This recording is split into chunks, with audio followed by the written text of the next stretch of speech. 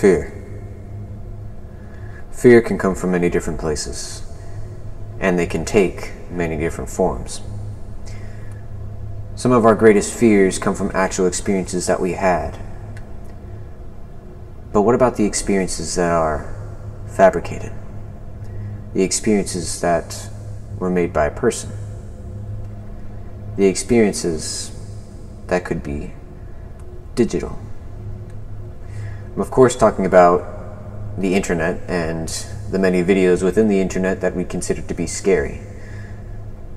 But how does someone create a scary video? A medium that is already restricting in itself. Well, the simplest solution that I could find is you have to create something that scares you. Well, okay, that seems like it would be pretty simple, but how do I scare myself? Making a video.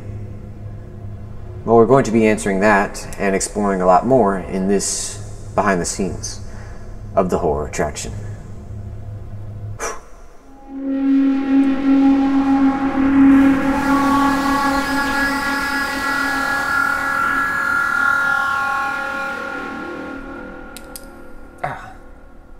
So, the question is how did I scare myself into coming up with the idea for the horror attraction?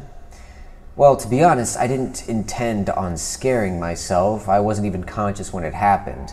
But scaring myself is only a fraction of where the idea came from. Because believe it or not, there are three different sources for where the idea of the horror attraction came from.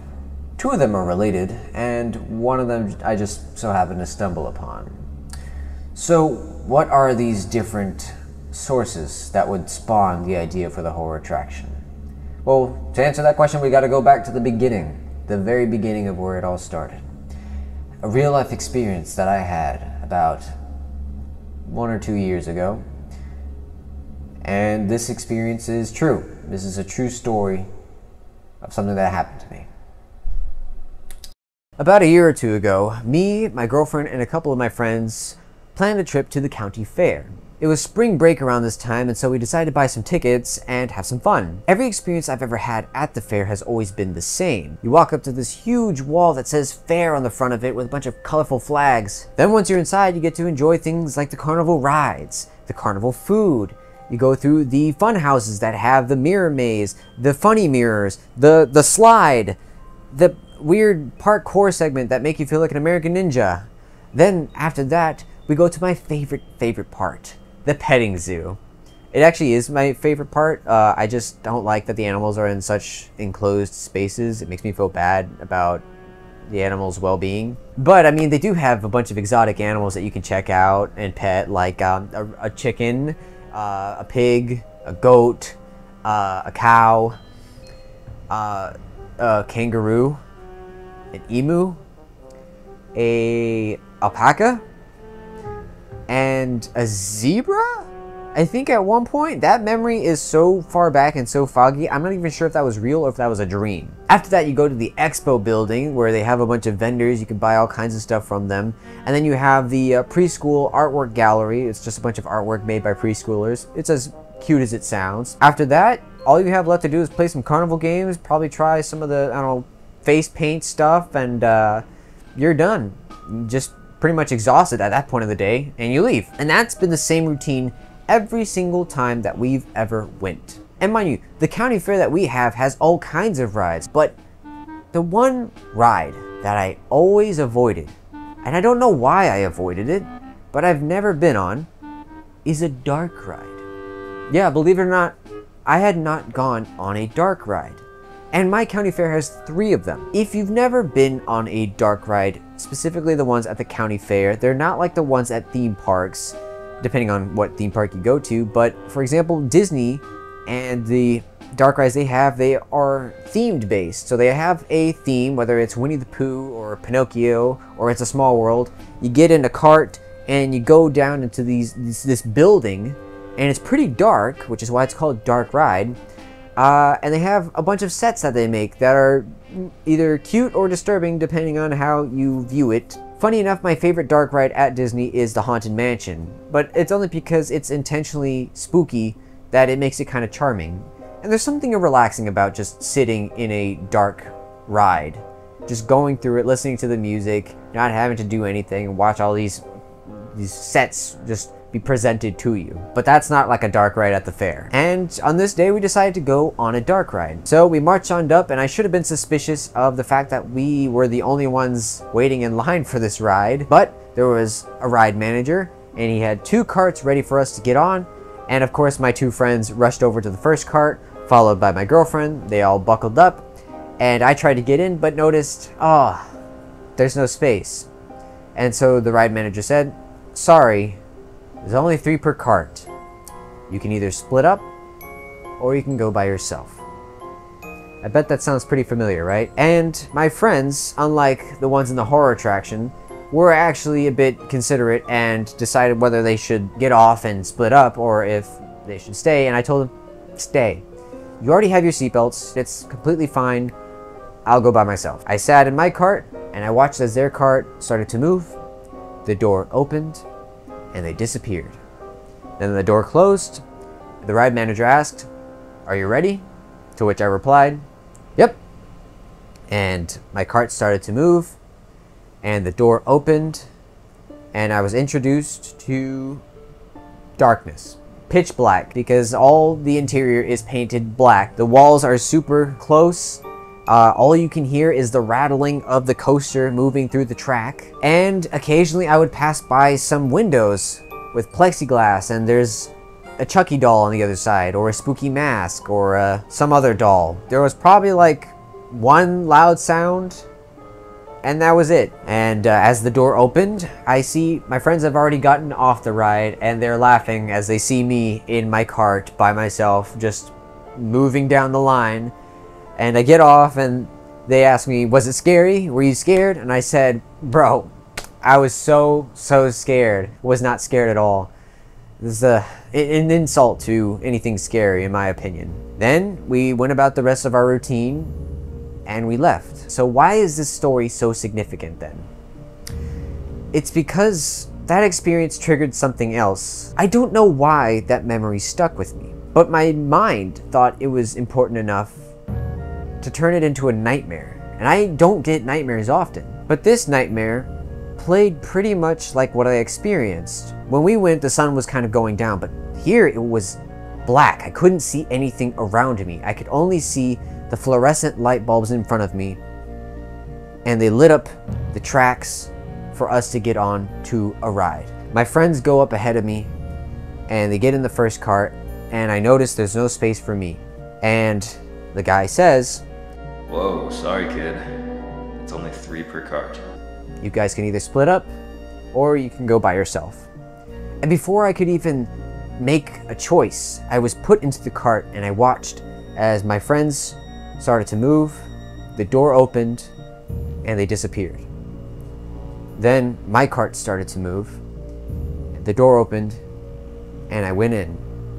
And it was dark again, but way darker than any pitch black room I've ever been in. Occasionally, there were spotlights that would turn on to reveal some prop that they set up, but the room felt bigger. Then it started to go to another room. That room was pitch black. Occasionally, a spotlight to reveal some prop. Then we go to another room, and then we enter another room. Bunch of animatronics right in front of me, and I can even see just ahead are my friends just going into the next room. And before I can shout to say anything to get their attention to look back, they're gone. And I'm moving slowly through this big, dark room, and then it stops. The lights come on, and I'm faced with these deactivated animatronics in front of me. There's a couple stuff around them, such as presents and barrels and stuff, and even behind them, towards an actual wall that I can see, is a facade of some log cabin with, uh, again, barrels and gift boxes and balloons and some other props or animatronics that are standing in the back super still. And I had been waiting there for so long, I got bored and I decided to step out of the cart and just examine all these different props and facades. And as I'm exploring and I'm looking at the door that I had just come in through, I'm trying to see if there's any way I can open it, and there's just no use. They're locked. And then I see something.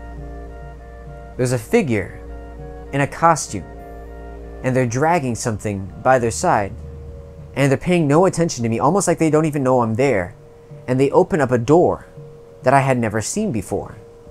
And they walk right into the door and they're gone. So I run up to the door and I open it and I see this figure in a costume. And he turns to look at me and he freaks out and he tries to get away. Being there for so long, desperate and panicking to get out, and I just wanted someone to help me, and there's clearly someone who can. I rush over to them, I tell them to stop, and before they can go through the door, I yank them by the shoulder, pull them to the ground, and their mask comes off to reveal an animatronic. And then I wake up.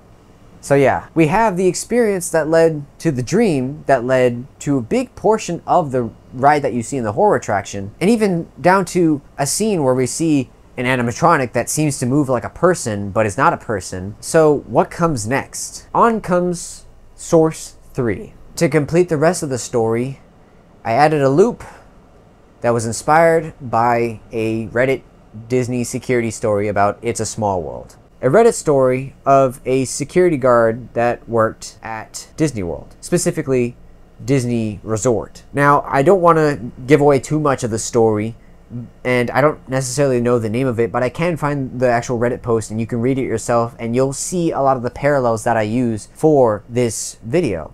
Now that we're done with recapping where I got my inspiration from, it's time to move on to the fun part the making of the horror attraction. Finally, I made it through the whole script. God damn. Before we get into the meat and onions of how I made the horror attraction, we first have to discuss what George was wearing in the horror attraction. There's two live action plates that are recorded. They're basically of me, and uh, George, George me, is wearing a uh, a pretty snazzy hoodie. What is he wearing? What is he wearing? What is he? He's wearing this. He's wearing this. This is CreatorInk's Five Nights at Freddy's hoodie. Look, look, ah, fuck. Look at the back. We got some nice writing right here. And then, top it, to top it all off, if you don't want any, like, I don't know, some clean shoes, you don't want shoes, maybe you don't want uh, that, maybe you don't want these t-shirts, maybe you don't want this hoodie, maybe you don't want these clean hats, maybe you want a coin. What's that right there? It's a Faz token. And then right here, Death coin. We got a death coin. They're pretty big. Some ASMR for you right there. Faz tokens. Get them at creatorink.com. That and I lost my Twitter account, so if you can go follow my new Twitter account because my other one got hacked by some loser. Um, it's in my YouTube lists, but I'll also leave it in the link down below. Please go follow it because I miss you guys, and you guys don't even know that I got hacked. So so the first thing that I knew I was going to need when making the horror attraction was a layout for the actual track to go through. So, based on what I can remember from my dream and what I remember from the ride, I came up with this. I just made the letter E. you basically get the idea. This would be the waiting area line. We go through, there's a zigzag, go through all the rooms. There's the back door or back room come back around, and you're back at the start. We needed to make that in Blender. And I did make that in Blender. Here it is, the beautiful curve, but I can't just have a curve because I need an actual physical track to make. So, that's what I did. I made a physical track. It's uh, got a bit of concrete texturing, some metal uh, brims along the edges. We have the actual main track that acts as an anchor for the cart, and then you have these little bars that go across it, they all have like array modifiers and uh, curve modifier to follow the curve, so that way I didn't have to do that manually. Scientific! So once I made the tracks, I had to make a cart to go on the track. So that's what I did. I, I think it's very spectacular. I think it's very beautiful. I textured this myself.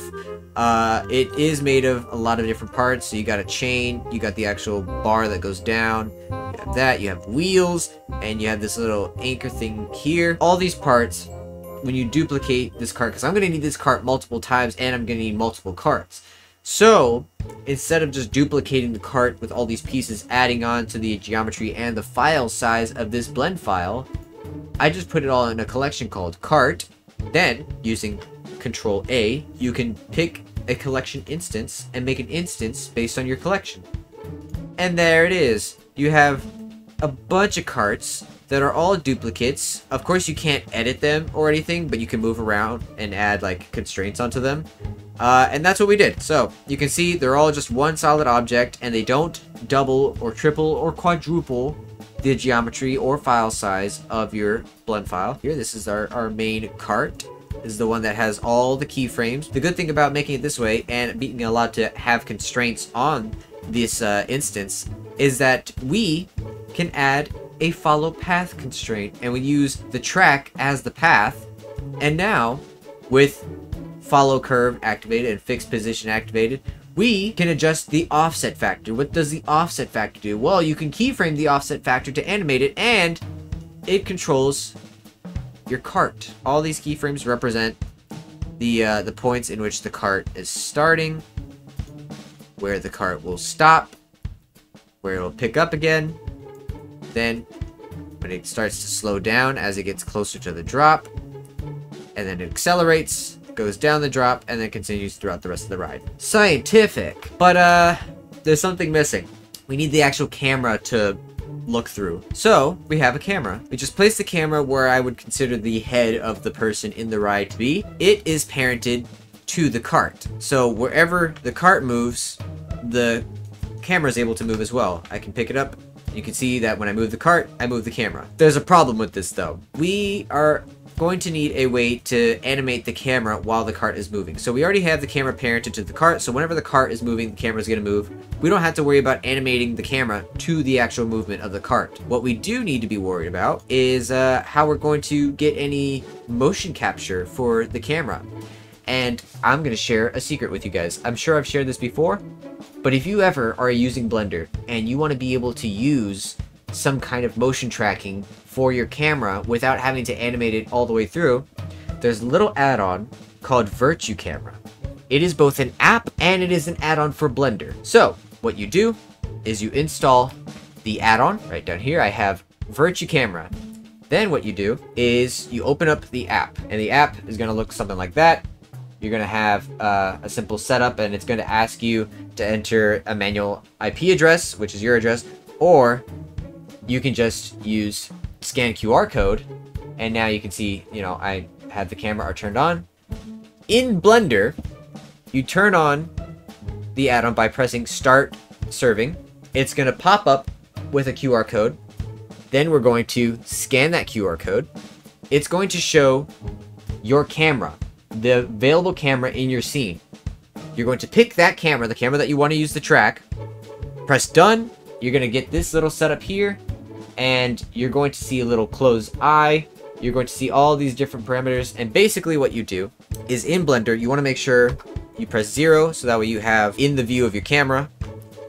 You're going to tap that eye in the center.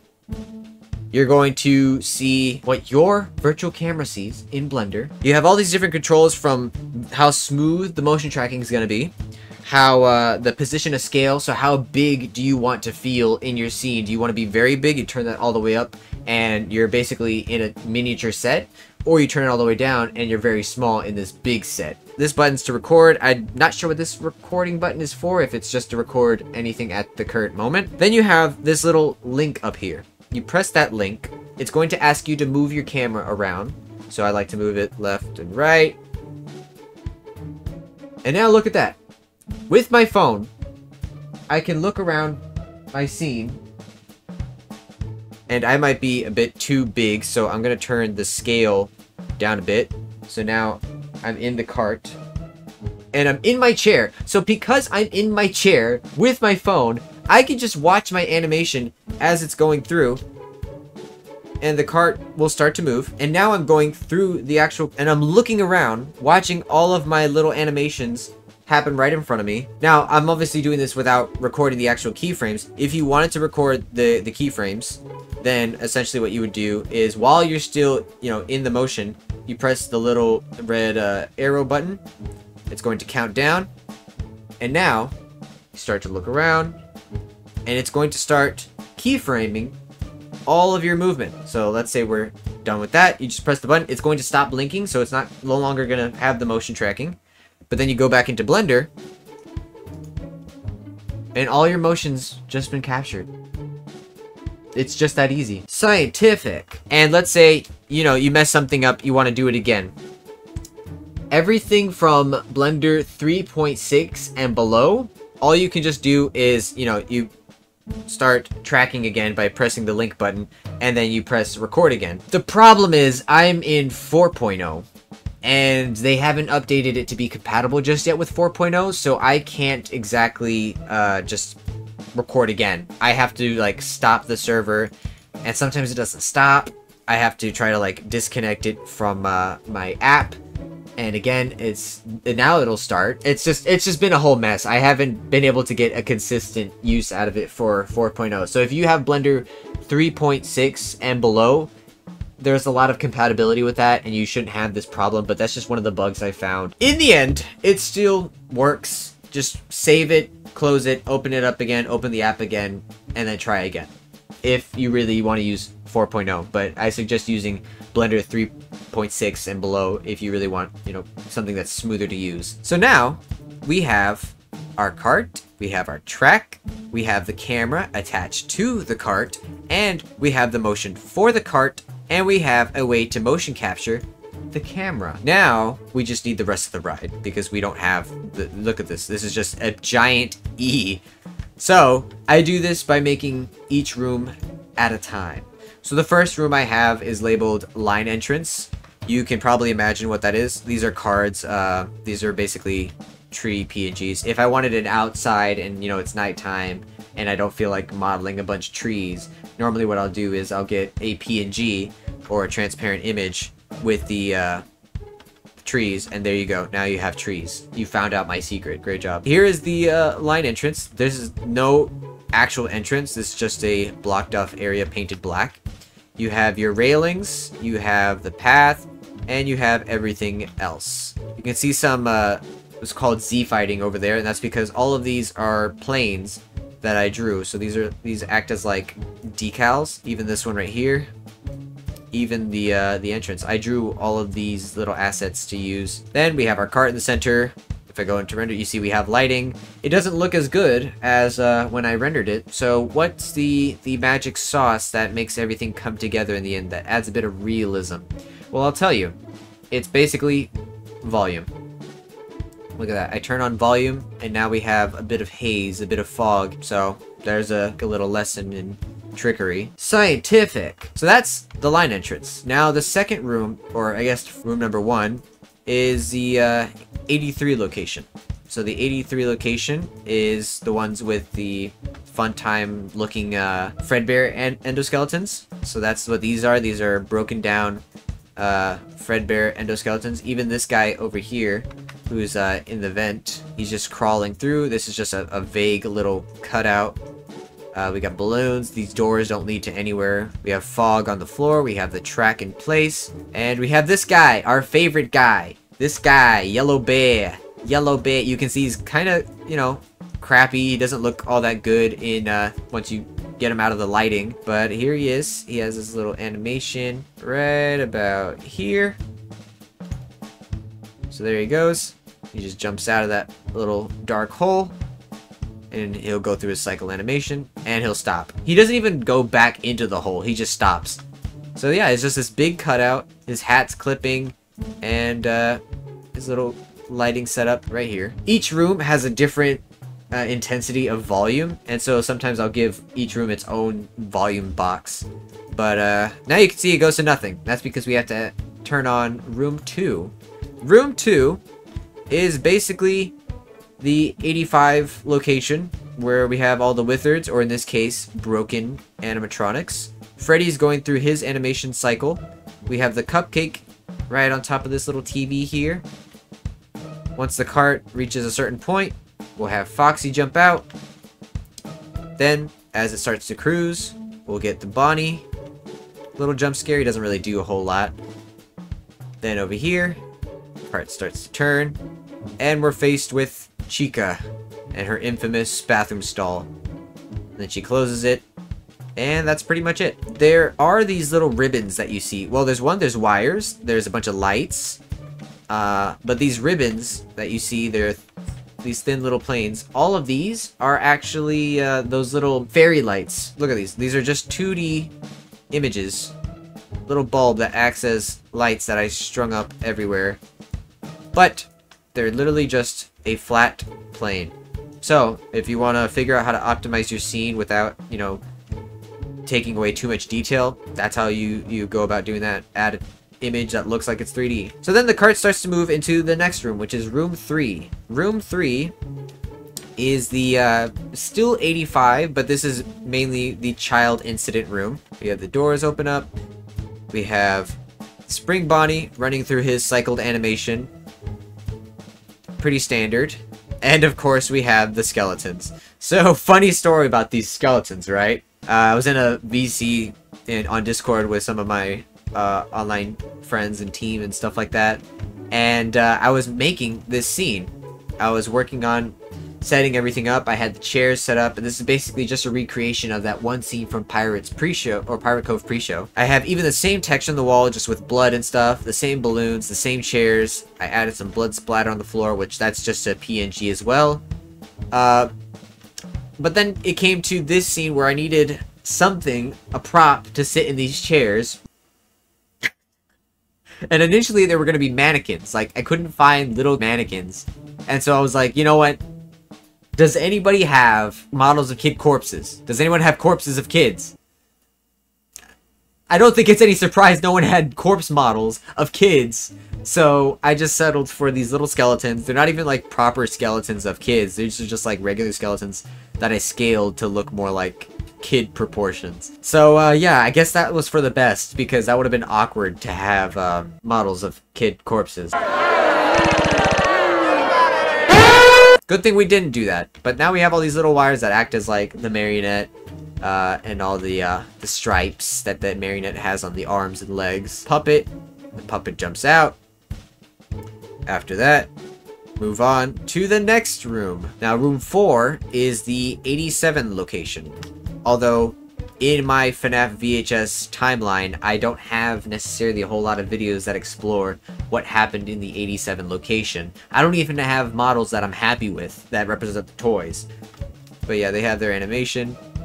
We have kitty rides. We have, again, those little strips that make up the, uh, the light bulbs. We have a vent. And uh, eventually they start to glitch out. They cycle through their animation. The ride stops. Uh, and then the lights come on. Once again, it looks a bit flat right now because we're not getting a whole lot of light bouncing and uh, volumetrics. So, again, we just turn on the volume box, and now we, it adds a bit of depth. Uh, we have these blacklight PNGs, so these are all just images that you can just take off the wall and move them anywhere. Uh, they have an emission texture, so if you've ever wanted to do blacklight in a in one of your scenes, all you have to do is create a gradient, a gradient map, and then an emission map, and that basically is faking the illusion that some parts are glowing brighter than others. I think I can even shift this around. You can kind of see the shadow for where the light doesn't touch, and if I wanted everything to be brighter, you just increase this. But that's how you fake having black light. Before we get into the back room, I want to show you guys the other room, which is the Springtrap room. So this room, it's pretty simple. We have these planes that represent cloth. These, these aren't even like ribbons. This is just one plane with an image. Uh, we have these beams up on the ceiling. We have a bunch of dirty texture on the walls and the floor. We have these wooden cutouts that kind of look like flames, almost like a tunnel to hell. Uh, and then we come down the tunnel. Oops. What are you doing back there? You guys aren't supposed to see that. Alright, cool. so so we have this tunnel. And you can see once the cart starts to move, the there's keyframes for the lights, uh, for the light to get brighter. Uh, there's just a bunch of wires and cables. There's a spotlight. This room is pretty empty. Uh, there isn't a whole lot going on. But I made all these wires. And there's also another cube in here. As again, as again, again, like I said, there are some rooms that have more uh, volume intensities than others. This one, for example, has a volume absorption node. That essentially creates light absorption, which is the further the light goes, the weaker it gets. So you, as you increase this, the less light leaks through. So if I were to take this all the way down and we were to go to the render view, you can see there's much more light lighting up the, the scene. But as I start to increase this, less light starts to leak through, and we're left with a dark pit, even though it's not a giant room that's just pure black. So that's how you do uh, light absorption. And of course I have all these speckles here. This is a add-on I think I got, or it's a, a Blender file with a uh, geometry node setup. Uh, it, it's pretty cool. It has a lot of different parameters that you can mess with, uh, but it basically look like these little images that make up dust. And you can change like the color of these. You can change uh, the brightness of these. I think these have an emission texture. Yep, you can change the brightness of these. You can change the border strength if you want it to be like just straight up dots or if you want them to be kind of faded. I like mine to be not solid, faded, and then I want them to be subtle. So now they just look like particles. And they're just planes and geometry nodes, so it doesn't add to the blend file a whole lot. Yeah, if you're interested in dust, there's a lot of add-ons to create dust. Dust creates depth and detail, so that's just something to keep in mind. Scientific. Once the cart reaches this point, the cart will go through, and it's just a black room with slight bits of plaster peeking through. It'll come up here, and there's nothing. Mainly because I didn't really plan on anything being there initially. But what there is are the back rooms. So the first back room is one that you guys have already seen before in the horror attraction. It's the one where these endoskeletons appear in. You have this little top of the carousel, a bunch of these shelves, extra endoskeletons from Mediocre Maker video that I made uh, involving a Studio C Freddy, and it, he has this uh, endoskeleton. There's a bunch of pipes along the walls. There are these uh, beams, metal beams that are holding everything up, all these wires. There's a little ghosty. There's a kitty ride that's messed up with textures. There's a dubster. There's the Grim Reaper! There's a ladder, and there's a, a bunch of skeleton bones right there. And of course you have the door that leads into the uh, the next back room. Going into the next back room, we have these guys, a bunch of endoskeletons from uh, my vintage models, a bunch of piping and wires, and you have the infamous hallway, or at least the door that goes into the infamous hallway. Larishes, Squats a butte, come around here. And something you might notice is the map of this place doesn't make any sense at all. For example, if we come up here, there are two rooms that are overlapping each other. The 85 room and the Springtrap room. So we have to turn off room number two. Now if we come in here, it's all emptied out. Now, of course we got a cube here for uh, a boolean effect. Just turn that off. Huzzah! We have light, but you can see it's this is meant to be the hallway that contains Springtrap and the little button that plays Springtrap's little animation.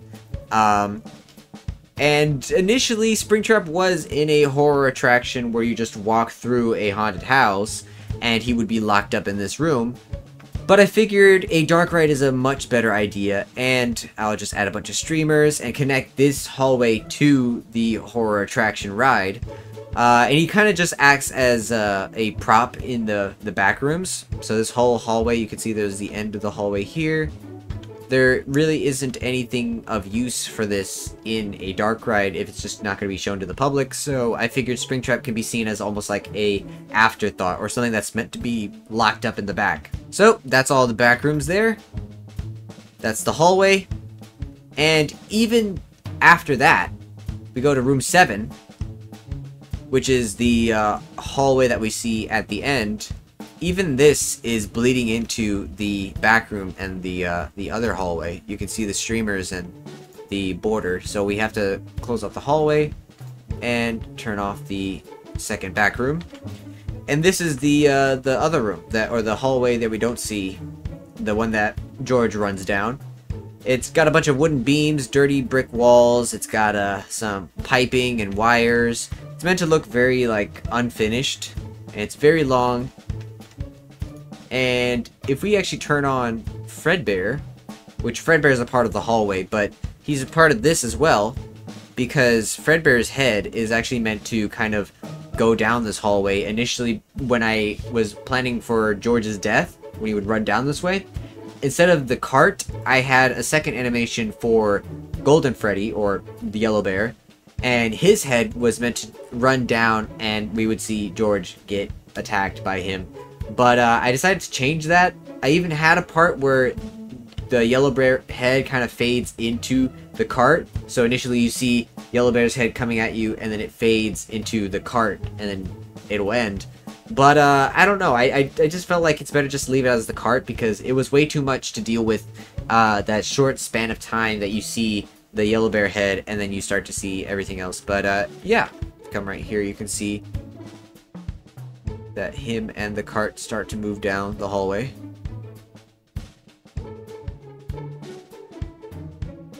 And then it stops right there.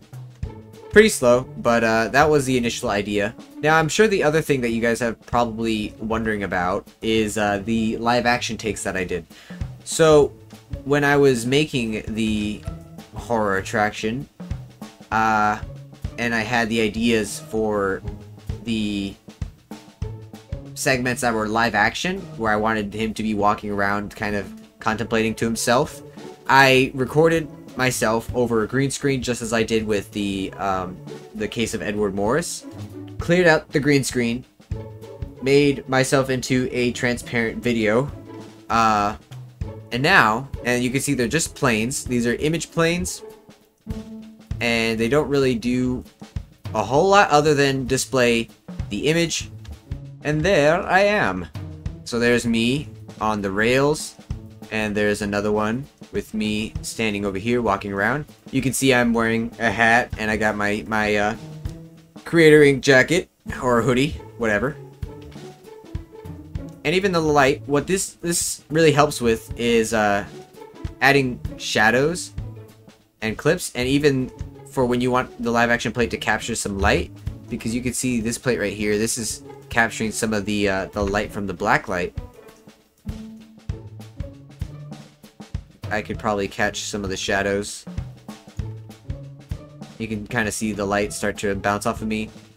And so you can get accurate colors and lighting this way, uh, and you can even get some shadows, but the problem is, you know, with it being a 2D plane, there's only so much you can do with, uh, you know, 3D shadows, because it's, it's a flat image, but you can see me standing over here, I'm casting a shadow over this area right here. And this could be really helpful, but you have to play your cards right and know exactly what kind of scenes that you want to use these for. Otherwise, you know, as soon as you turn a corner, they become paper thin. And that's pretty much the conclusion of this, uh, this behind the scenes video. So I hope you guys did enjoy. I hope this was educational for you guys. I hope this guys inspired you to kind of try to do some of your own stuff using some of the techniques that I showed. I'll catch you guys later, alright? Thank you guys so much for watching. Bye.